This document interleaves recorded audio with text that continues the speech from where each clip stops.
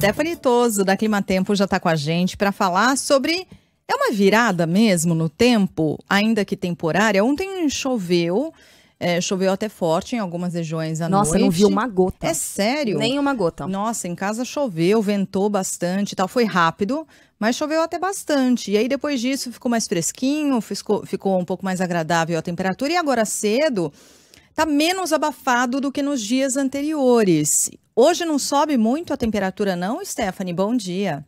Bom dia, Sheila. Bom dia para Carla, para o Megali, para todos. Não sobe muito, não. Então, a gente tem esse ar frio da frente fria que passou por aqui. Agora, o sistema está na altura do Rio de Janeiro, só que organizou todo esse fluxo de umidade. Então, a gente teve até um amanhecer com ventos aqui pelo estado de São Paulo, por isso essa sensação de friozinho. Agora, a tendência nas próximas horas é dessa instabilidade que se formou durante noite, madrugada, perder um pouco mais de força. A gente ainda tem o predomínio desse céu mais encoberto. Então, hoje é um dia com muita nebulosidade. Só que durante a tarde tem algumas aberturas de sol aqui para a faixa leste do estado de São Paulo. Mesmo assim, máxima que não passa de 25 graus para essa segunda. Então, semana começando com esse friozinho, mas nos próximos dias já volta a esquentar. Então, é uma mudança de tempo prevista somente para essa segunda e terça-feira, que ainda vai estar com esse reflexo de muita umidade, esse ar mais frio, só que a partir de quarta a gente já tem máximas de 28 graus por aqui. Hoje, durante a tarde, ainda com atenção para chuva. Então, litoral sul, litoral norte com temporais localizados.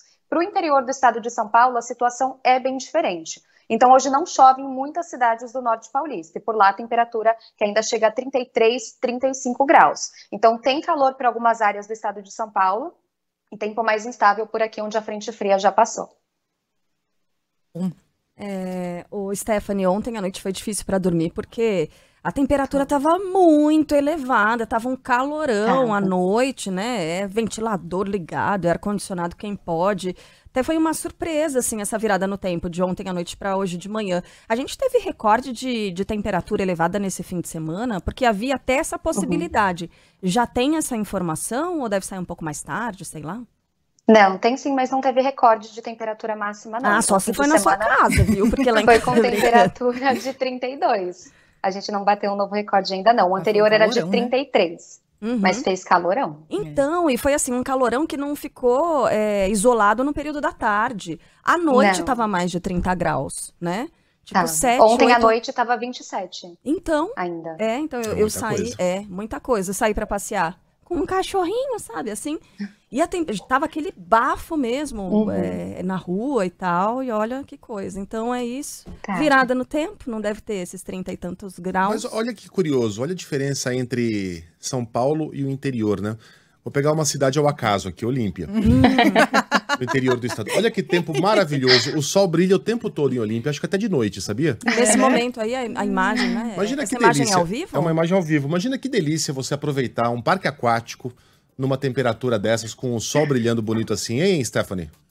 Ai, gente, é muito bom, né? Aproveitei no fim de semana. Tá Olímpia, trabalhando por você.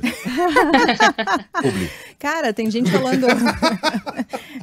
o Cleiton, garoa chata no Ipiranga, Zona Sul, garoa e sol entre nuvens. Tem mais gente falando de chuva agora na região da Moca, meu, chovendo na Moca.